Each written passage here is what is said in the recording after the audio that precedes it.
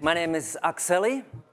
Uh, I'm a member of Economic Space Agency, Yes. a political economist, and I'm going to introduce and facilitate this session uh, for us this afternoon. Rick and Jorge, okay, great, I'll, I'll see you well. Cool, now, let's start. Um, one of the most difficult things to understand about crypto economics, crypto economic systems is that they really have a potential to cause an irreversible change in, the, in, in what we understand uh, as economy. They can turn economy in itself, economy and its conventions, its institutions in themselves into a design space.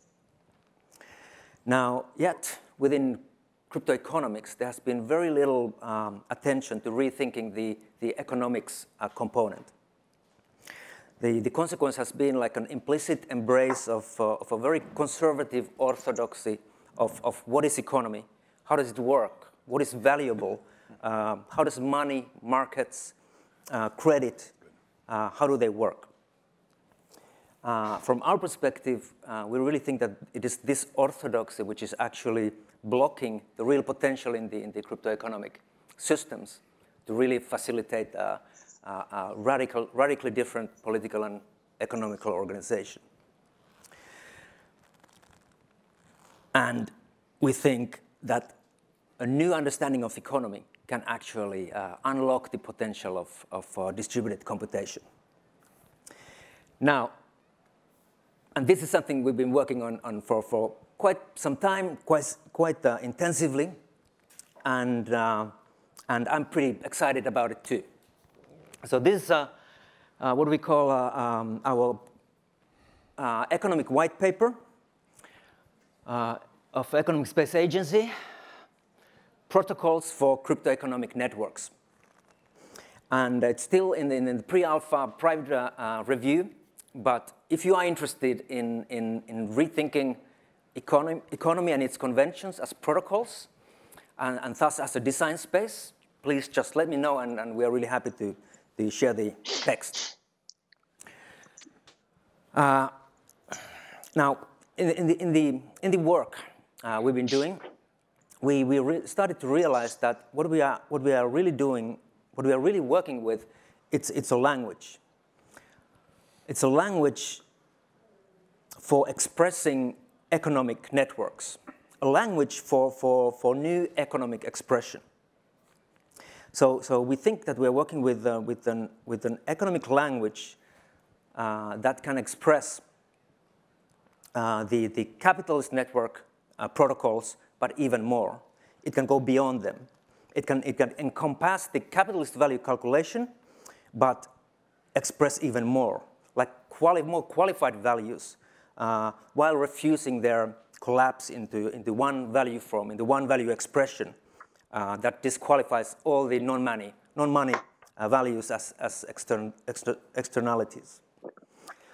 So, so we think that, that this grammar, this economic grammar, is capable of valuing, for, for instance, the, the biosphere, care, intangibles, uh, uh, social innovation, without reducing the information they, they contain into this one capitalist-defined uh, uh, uh, index of price or the measuring unit of, of profitability.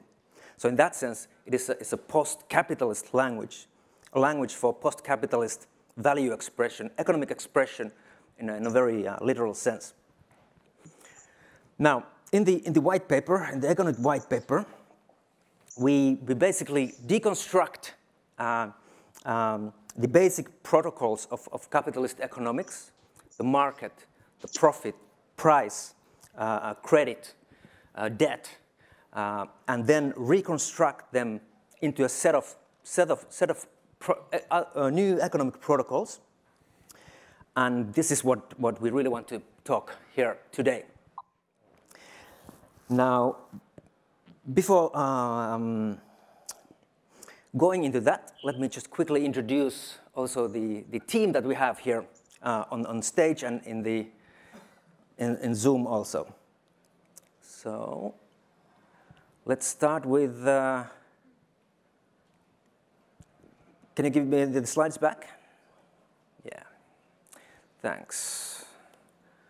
So I'll start with um, Jorge, Jorge Lopez. He's a distributed uh, systems architect. Um, and I mean, I've learned so much uh, uh, from Jorge about engineering and a, a, kind of a new kind of respect how creative uh, uh, the software engineering can be.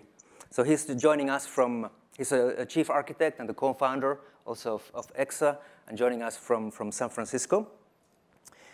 Hi, guys. Good. Jorge. Great. Then we have Dick Bryan. Give me the slides back.